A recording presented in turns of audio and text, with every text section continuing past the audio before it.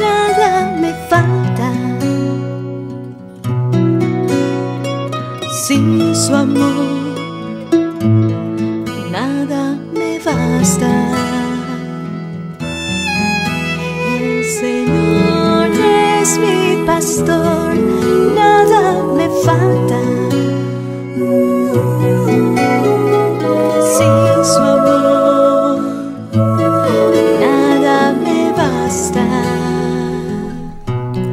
¿Qué tal mis queridos hermanos?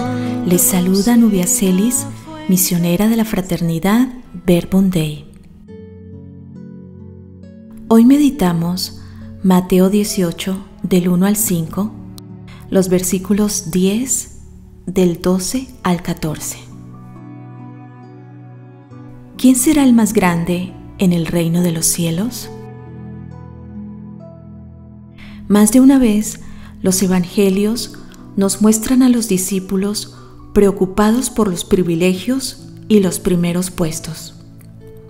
Y es que, aunque seguían a Jesús, su corazón estaba aún apegado al mundo.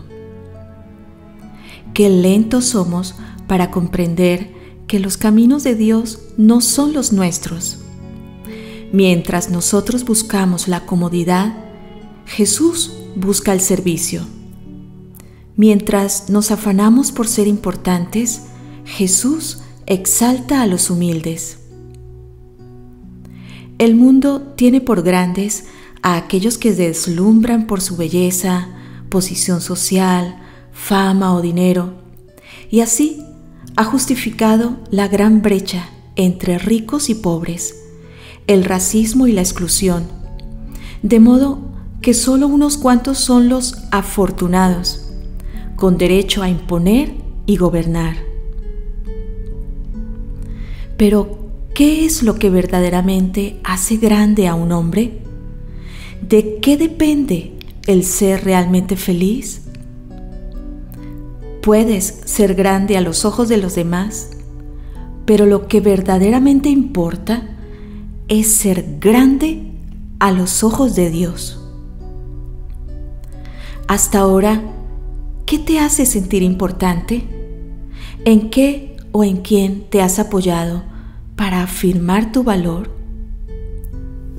Tus estudios, tu posición social, tus amigos, tu autoridad, tus bienes.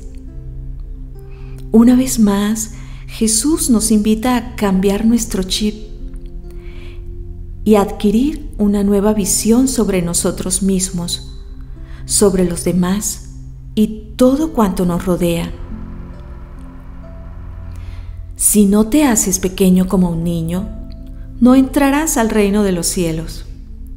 Si no caminas por el camino de la sencillez y la humildad, no podrás alegrarte cuando a los demás les vaya bien o mejor que a ti.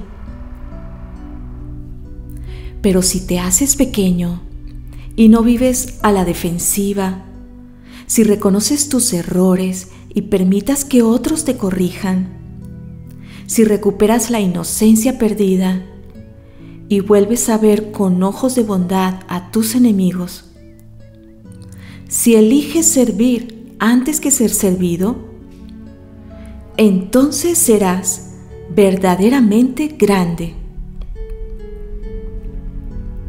No dejes pasar los mejores momentos de tu vida por andar esperando situaciones ideales que tal vez no vendrán. La grandeza se esconde en lo cotidiano, en compartir con los tuyos, en ofrecer el tiempo que no te sobra, en ser tú mismo sin máscaras ni enmiendas, en ser realmente amigo, en abrir tu corazón.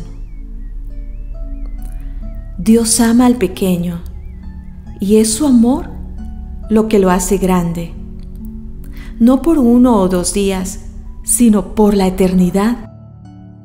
Por esa razón Jesús exaltó la fe de la viuda, la caridad del samaritano, la disponibilidad de saqueo, todos pequeños y pobres. Medita en tu corazón, dialoga con Jesús.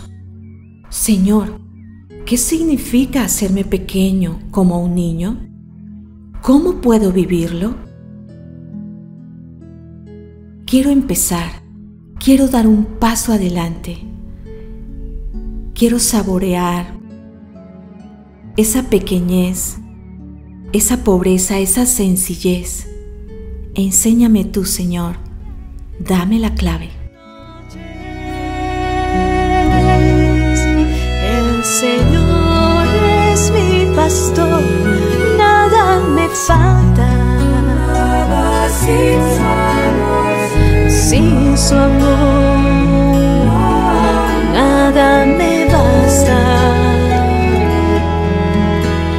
Señor es mi pastor, nada me falta.